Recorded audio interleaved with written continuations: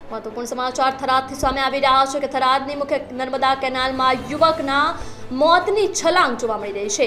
રાહદારીઓ જોઈ જતા નગરપાલિકા ફાયર ઓફિસરને કરી હતી જાણ તો નગરપાલિકા ફાયરના જવાનો ઘટના સ્થળે પહોંચીને શોધખોળ હાથ ચાલુ કરી છે.